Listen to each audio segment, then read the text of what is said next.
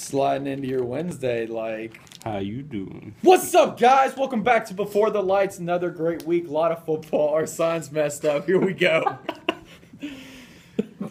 go ahead, Chris. Go ahead. Take it away. Some matchups to keep an eye on this week. Um, Weaver and Ashbrook and the Bearcats continue their momentum.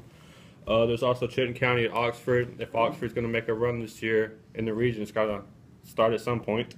And this Piedmont at Ohatchee. Um, Indians have been impressive. Not saying upset alert, just saying they're going to gain a little bit more respect in that region.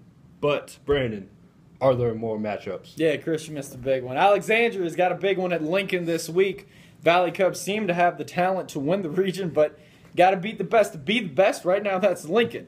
However, there are more storylines out there, possibly. Maybe Chris has one.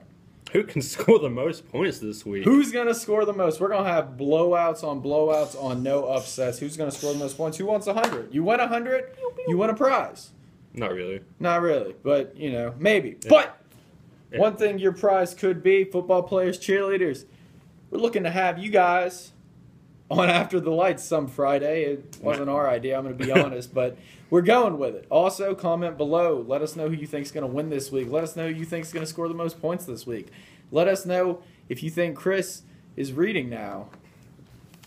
I mean, look, I even have my face in today's paper. He does. He does. That's a start, man. So, we'll see you on Friday. Just cut it. Just cut it.